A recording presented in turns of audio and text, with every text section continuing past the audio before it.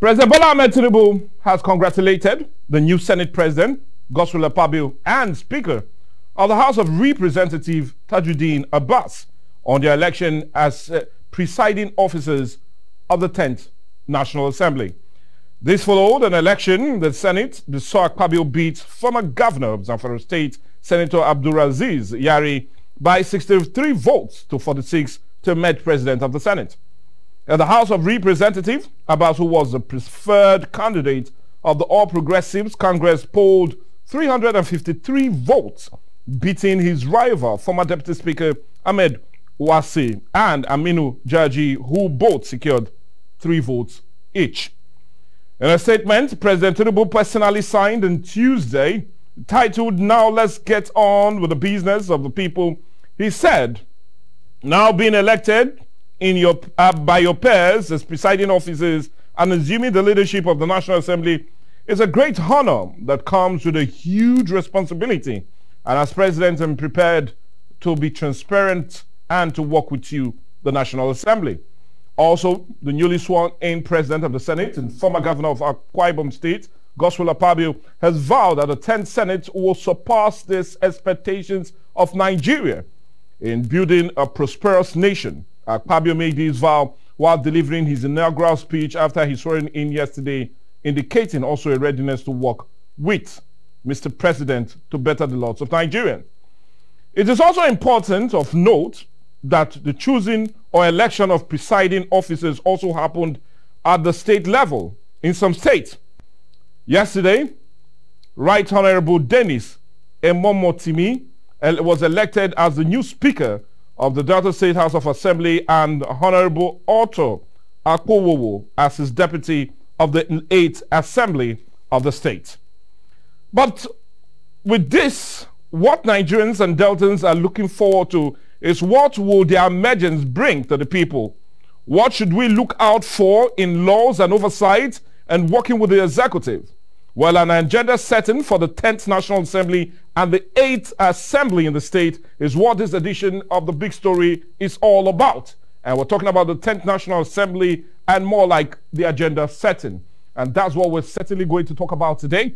We're talking about the 10th National Assembly and that of the Delta State House of Assembly, the eighth in its uh, series. And not just only that, but we're talking about agenda setting for both houses. But anyway, to help us talk about this, we have no other person but um, I rather call him comrade, and uh, that's what I love calling him. Uh, comrade Edewa Gedigwe is of the Value Rebate Center and also um, the state coordinator of the Transition Monitoring Group. Uh, good morning, welcome to the show. Thank you for having me. Good morning, watch out, out there. Well, anyway, I'll also use this opportunity to congratulate you uh, for the World um, Peace Ambassador Award that you recently uh, clinched or was honored with in uh, Ghana. Uh, we truly, really uh, congratulate you on that. Thank you very much. Well, anyway, let's just start uh, with the business of the day. And uh, definitely, uh, before we go into agenda setting of um, the 10th National Assembly and that of the 8th of the state, I, I, I want us to first look at uh, how it played out yesterday. Many were expecting more of uh, what happened in 2015, or rather a repeat of what happened with 2015 with Saraki Ayakubu Dogara uh, scenario, uh, because prior to the elections uh, yesterday, there were a strong opposition to the choice of the ruling party preferred candidate. And uh, with the pure knowledge that the seven opposition party, especially in the House of Representatives, um, had a combined total of 181 members against 178 of uh, the ruling party. And there was even uh, more of the strongest shock uh, knowing that um, those that were even opposed to Abbas ended up giving him almost five, 353 of uh, the 359 votes because we know one other member died two months after the election. And uh, sad one that he was not also sworn in yesterday would have made it almost 360. But but my question is, were you surprised with what happened yesterday? Um, I'm talking about it going the way of the party. I'm talking of the ruling party. And uh, why did we not even see more of uh, the drama we were expecting yesterday? The only melodrama we saw was when um, no other person but Abu, Senator Abu, stood up to nominate uh, Yari, and we had Mohammed Mugunu uh, Borno APC not uh, kicking against that. And we had shouts of no, no, no uh, by members of uh, the Senate indicating their support for him to also nominate Yari. Apart from that mellow mid-drama, we did not get any other drama. So those two questions is what I'm asking first. Were you surprised it went the way of the ruling party with their preferred candidate? And why were there no more drama than we used to see that normally accompany such elections? Okay, first, thank you for having me. And let me congratulate the the presiding officers mm. of the both uh, yeah. houses, the Senate and the House of Representatives, and also our own state mm. uh, speaker and deputy speaker mm. who were elected by their peers yesterday. Congratulations yeah. to them. And of course, congratulations to Nigerians because it shows clearly that democracy is thriving gradually in this country. And it's taking root. It's taking its root. So then, of course, when the roots is properly taken, it would naturally bear fruit upward. So that's what we're looking at. Yes, am I surprised? I'm not really surprised. Like I said, it also shows that democracy is getting entrenched in our body politics. Mm -hmm. I'm not surprised because maturity is also of the essence. They are getting matured, you know, year in, year out. And I'm also not surprised too that uh, APC at the national, you know, pull the strings because the prior to that yesterday, yeah. we saw the horse trading, the yeah. intrigues, mm. the maneuvering mm. that ensued, and a lot of drama, dramas, meetings. you know, meetings, mm. nocturnal meetings, and what have you. And that's also to tell you that yes, democracy is getting its roots gradually. You know, it's a game of intrigues. It's a game of maneuvering. It's a game of persuasion, lobby, and all of it. So all that had its fair share throughout the period preceding yesterday. But having said that, yes, principal officers have emerged. That is, of course, the senator, I mean, the senate president and the deputy has emerged. All those presiding Yeah, all the presiding officers. Other presiding officers need to come on board. Mm. So that will be seen in the coming days. Um, for the National Assembly, yes, uh, the clamor by many Nigerians the, of the Christian, you know, uh, uh, aspect were of the view that the Senate president should be a Christian. Having had the president a Muslim, the vice president a Muslim, mm. the next high-ranking officer, the number three officer in the state, I mean the nation, should be a Christian at least. So Nigerians expected that that thought, that idea shouldn't have been challenged by even a Muslim person ordinarily. But because it's a game of interest, and of course, nobody has a, you know the right to also stop another person. And, and funny enough, it's our constitution. It's of course it's a constitutional thing. We saw uh, uh, Yari, the former uh, Zamfara state governor, also throwing his hat into the ring, and that was clearly, you know, welcomed by all. But true to the, you know, the practice of democracy, they went to the pool yesterday, and of course, we saw the outcome. Mm. So, and you saw where Yari also went to hug uh, Akpabio, embrace him, and of course, he said, yes, it come and gone, then the business of legislation to begin. So that's the majority I'm beginning to see in our body policy and our democracy. Now, having established that, it is now most important to set agenda yeah. for the Senate, well, the National we'll, Assembly. We'll, we'll, come to that agenda setting because that's mm. basically what uh, this edition of Quest Today is more centered on. But but I, I still want us to look at, um, anyway, let's just call it um, the lighter side of all of it then. Mm. And uh, yeah, and that's why I, I talked about uh, the drama that did not really unfold. And, and you you say it's because of the maturity yes, that seems to be unfolding yeah, uh, in our democratic process. But but as much as we talk about that very maturity, I, I'm still a bit surprised because naturally, the APC is a ruling party, and they came out with their candidates more than a month ago mm. on who they prefer uh, to run uh, the presiding office in the National Assembly. But, but, but with so strong opposition to that of the names we mentioned. Yet, uh, you, you made clear indication that, well, we had the Muslim as uh, president and the Muslim vice president. So it's only natural that a Christian will be the third uh, most powerful person when it comes to political ranking in the country. But but my next question is, uh, why do you feel there were even opposition to some of the preferred candidates of the ruling party because we saw stiff oppositions. We even got to an extent that it, it almost degenerated into name callings, especially among the ruling party. Why do you feel, feel that there was really strong opposition to all these names that finally won it at the end of the day? No, it's natural. It's only natural. Every good thing Yeah. will have, you know, a stiff opposition. Like I always tell people, gold is not found in the surface. You need to dig deep. Yeah, of course. So for where you have 109 senators, 360 House of Reps, Members. members, all in one National Assembly, And different political parties. different political parties, and one man becoming the number one among all of these put together. Because you know he's the chairman of the National Assembly, for instance. Yeah. So he's going to superintend over all of these, you know, individuals from different background. That position will be a most contested position. So name calling, yes, politics is a game of outwitting one another. That's what the poli- the game is meant for. Mm. So you don't want to put yourself into politics and you are you are scared of you know being talked about, being your image being tarnished here and there. No, no. Now you, you you can say more of that even with the current president that we have.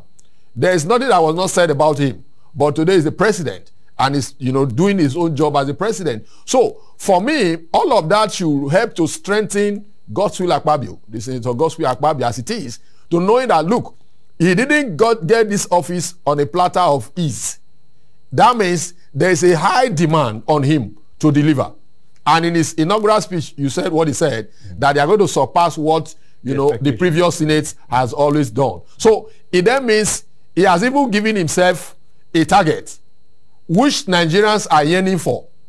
And for Nigerians, we don't want to hear stories of, oh, okay, we have just come, we want to. The Nigerians are not, they are not ready for such things any longer. But 18, he has already said by his own mouth that, look, we are going to surpass what we made. So by that, we want to hear in the coming days, at least by today, we should hear either they are going on recess to go and get set and come back for full business of the day, or they are kicking off right away. For me, there will even be no need for recess. This is the time that Nigerians are waiting for. Of course, uh, Tinubu came in on the first day. He made some very pronouncement. remarkable pronouncement, and in the few days that followed, he has made some appointment and all that. That's what governance should be. It is not when you get into the office, you not think of how you want to go and do window dressing here and there and try to get put. It then means that you were not ready for the place ab initio. So we are saying that yes, in the next one or two weeks, we should have all other principal officers put in place. And the business of the day. Business of the day begins, and we see Mr. President sending a list of you know uh, would be Yeah, ministers that- that- to, that- to them for screening. that- that's where I'm going to. And, and talking about the business of the day, let, us really go there, which is more like the agenda setting for uh, the- the 10th National Assembly and also that of uh, the Delta State House of Assembly. Now, I, I know Nigerians, like you said, will be waiting for names of ministers' nominees. And uh, that's the next agenda, both for that of the president, the executive, and also uh, the legislative arm of uh, governance. And, and not just getting the names, but you also be sending them uh, to the 10th National Assembly for screening. Yeah. And um, which is more like kick-starting business in itself. Sure, sure. But one form of screening Nigerians are not comfortable about is take a bow. And we've seen that many times, especially when um, the nominees are former members of uh, the legislative arm of government. We've seen that a lot of times, and it's now almost becoming a norm. Now, let's look at the quality of the screening process uh, we're expecting from the 10th National Assembly. And do you see them departing from this ugly tradition of take a bow rather than intense screening? it has they have to depart from take a bow and go. Nigeria have moved past that era where you say take a bow and go. Maybe because the person was one time a governor, former governor, former senator, or a minister, then you take a bow and go. Nigerians don't want to see that. From the civil society, we are setting agenda, particularly with regards to transition monitoring group at the national and at the state level. Our next line of action is, you know, engaging the recent, I mean, these new executives, they of course the the the senates and the House of Reps and the State House of Assembly members, engaging them based on their manifesto that they told Nigerians their commitment with Nigerians that they shared during their campaigns mm. that, of course, brought them into office. We want to monitor how they are in tandem with all of those things. So by that, we don't expect anything less than our legislators engaging the would-be you know, members of the executive of either at the national then at the state level.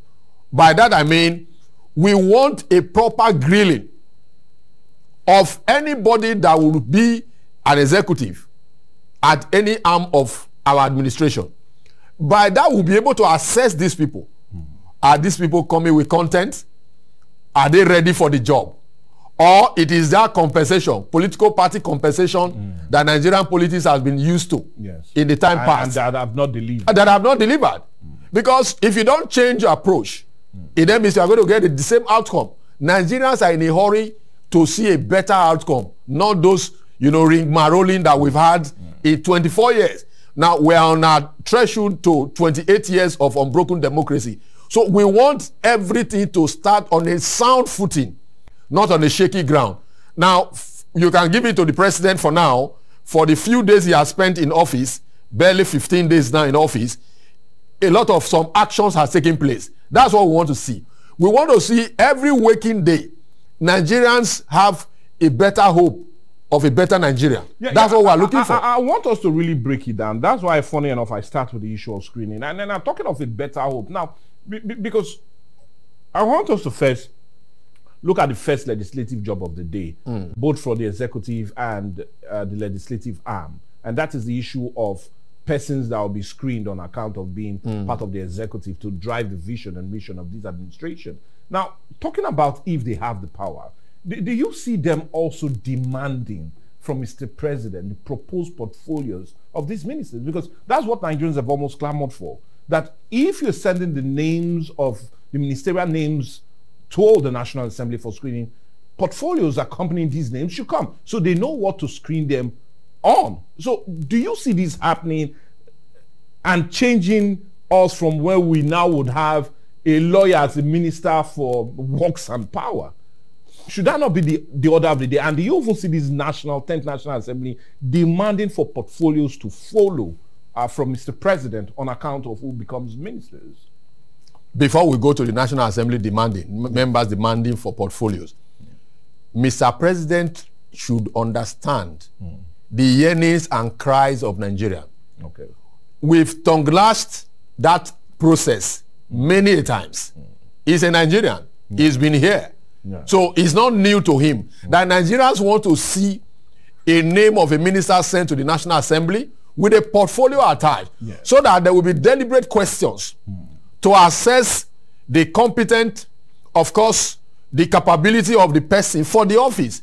And if the Senate did not see him as worthy of such uh, uh, office, mm. then he's not, he's not cleared. Suits to be. He's not cleared in that process. Then they request for Mr. President to so send another name that will pass, you know, the, the, the test of Nigerians represented by those members at the material time. So it's no point even now saying, oh, the Senate needs to demand. But, but, but, we are demanding we, as we, Nigerians. We, are basically talking about the 10th National Assembly. Yes. And we're looking at a departure from what it used to be. No, absolute. Yes. Absolute. But I'm saying here that Nigerians I'm a Nigerian, you are a Nigerian.